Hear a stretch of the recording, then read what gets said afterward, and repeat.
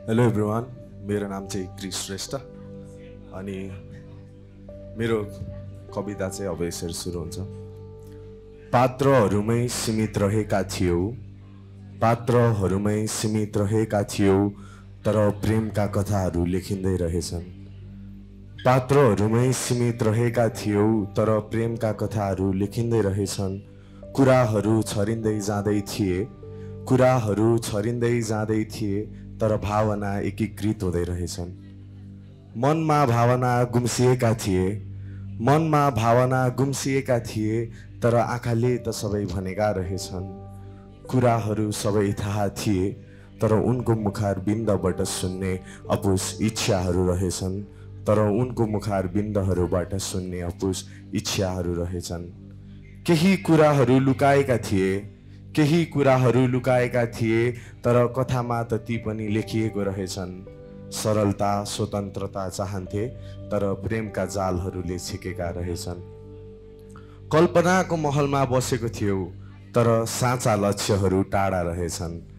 कल्पनाको महलमा बसेको थियौ तर साँचा लक्ष्यहरू टाढा रहेछन्।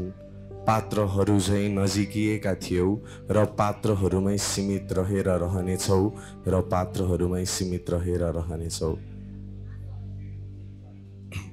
यो चाहिँ अब अर्को कविता हो। उसको घर र मेरो घर त्यति नजिक त होइन। उसको घर र मेरो घर त्यति नजिक त होइन तर मेरो घरको छतबाट उसको घरको छत देखिन्छ। हामी एकैपटक माथि आयौँ भने सायद एउटै आकाश देख्छौँ होला। जब आकाशले कहिले निलो कहिले रातो त कहिले कालो कहिले कस्तो कस्तो के के रङहरू फेर्छ तब मलाई उसलाई माथि आएर आकाश हेर न भनेर फोन गर्न मन लाग्छ तर अह गर्दिन। आज हिजो बेलुका अलिक धेरै पानी परेर होला बिहान आकाश निलो हुन्छ जस्तो मलाई मनपर्छ नि। ठ्याक्कै त्यस्तै। सफा निलो सफा आकाश भन्नाले अलिक खाली धेरै केही नभएको। आकाश हेर्दै थिएँ उसको घरतिर नजर गयो। फेरि उसलाई फोन गरेर आकाश हेर न भन्न मन लाग्यो। तर फेरि अह भनिन तिमी र म यो आकाश जस्तै भइसक्यौँ। तिमी र म यो आकाश जस्तै भइसक्यौँ। हेर्दा एकअर्कालाई देख्छौँ तर थाहा छैन कति टाढा। छ न त छ तर प्रष्ट अस्तित्व छैन। न त घाम छेक्छ हाम्रो आकाशले न त पानी नै।